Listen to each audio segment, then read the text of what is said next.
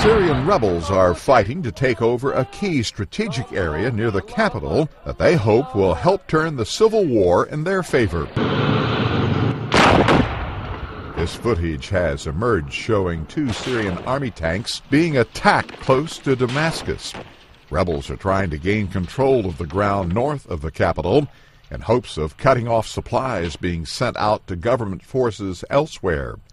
Officials estimate some 40,000 people have been killed in the nearly two year old war to topple President Bashar Assad. These advancements come as leaders from Syria's closest ally, Russia, say the government is losing control and that changes are underway.